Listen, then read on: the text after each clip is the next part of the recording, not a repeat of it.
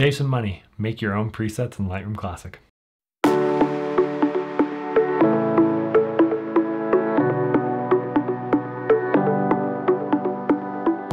Welcome to the Visual Center, I'm Trent, and in this video I'm going to show you how to create presets in Lightroom Classic.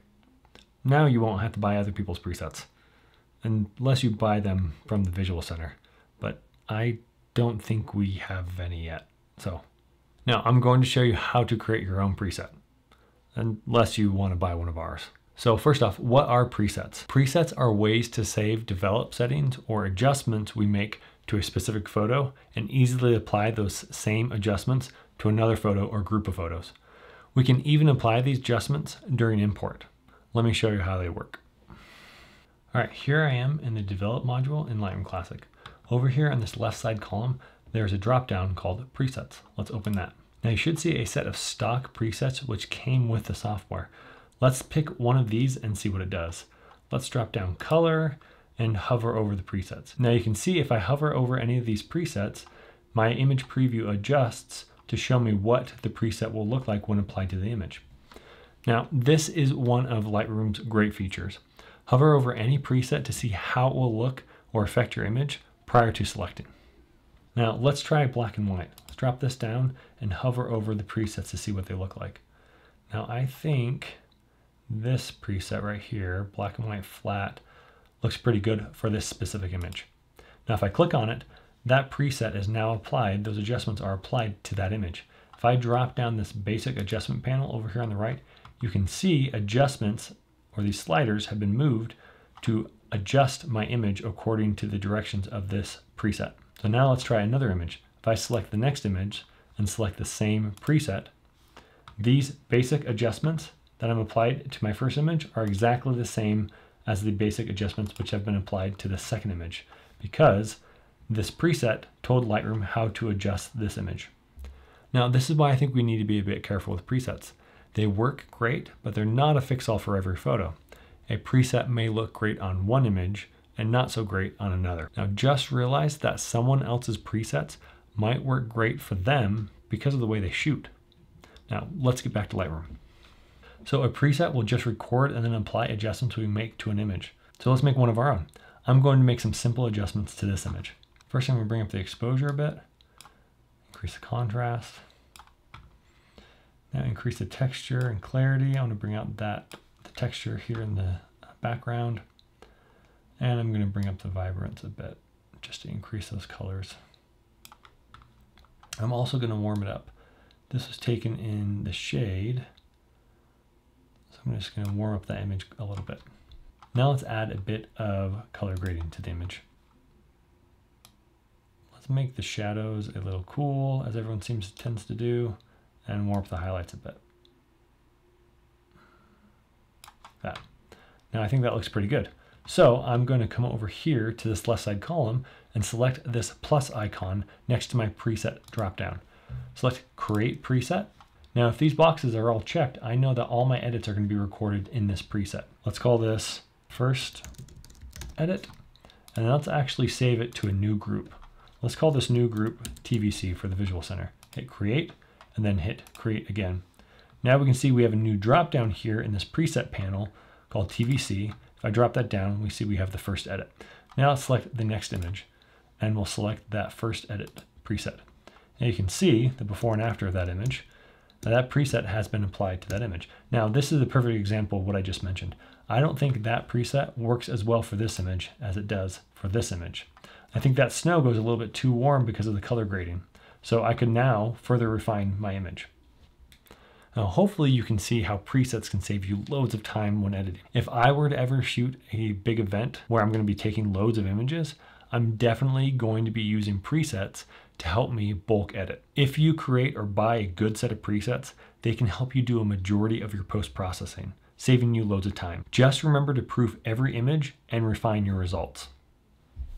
Now, if I go to create a preset a second time, this dialog box, which pops up, can be very helpful. First off, it reveals all of these adjustments, which can be recorded in a preset.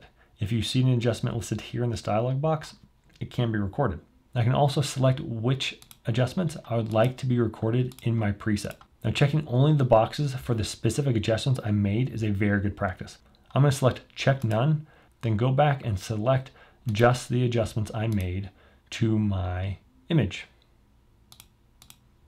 So I adjusted the exposure, the contrast, I adjusted the texture and clarity. I also did the vibrance, and then I also adjusted the color grading.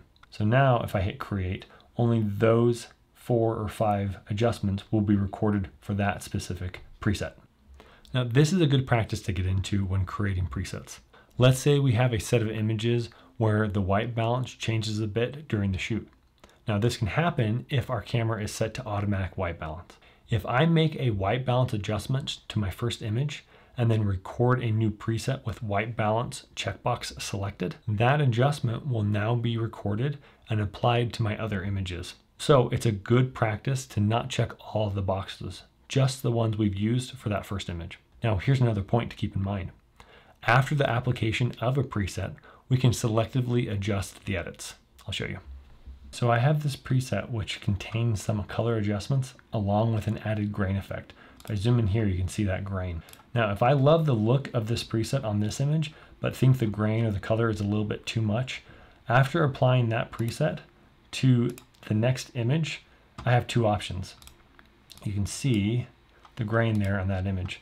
I don't want the grain. And I, again, I think that color, that warmth in the highlights is a little bit too much for this image. I can either create a new preset or I can apply the original preset and then refine some of the options like this. Now let's go back and change grain. I can just turn that off by double clicking that slider. Then let's drop down color grading and let's bring back that warmth in the highlights a bit.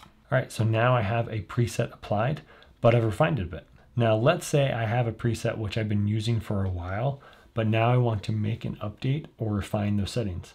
Now this often happens as we shoot and learn more about our photography. Our styles evolve.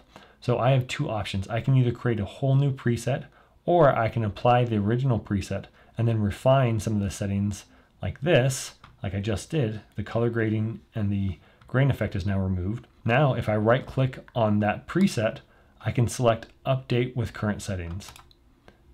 And now I can select update. And now those adjustments or those refinements to that preset have been updated.